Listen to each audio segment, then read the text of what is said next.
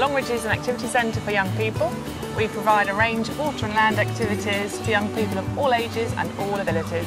Not only can you like go on the water and do stuff, but you can also do different things on the water. So you can go kayaking, swimming, you can go different boats. The leap of faith and um, big swing, and they've got rock climbing. Uh, It's just um, such a, a different range of activities which you can't usually get at other places. I get healthier and it makes me strong and I can do all sorts of stuff. It's the noise and colour of the, the myriad of different types of people that use this centre. There is no typical person. So we've got people from every age, every background, every culture, all coming together to enjoy an experience. And that in itself is quite a learning curve for young people. You get to make lots of new friends and you get to help each other doing a lot of teamwork.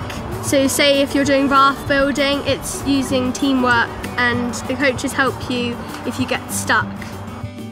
We've got a beautiful setting here that everybody should be allowed to enjoy and with help from people like the National Lottery we've invested on improving facilities, putting in new activities, making everything fully inclusive um, so that now we're seeing about 90,000 young people visitors every year. I just like um, the freedom of it. Um, it's not as if you have a, a certain pattern to follow. So if you do this activity, you have to do that one. You can choose where you want to go. I came here first when I was like nine, and uh, I did uh, a summer course here. I, ever since then, really, I've just been coming here. It's just so good.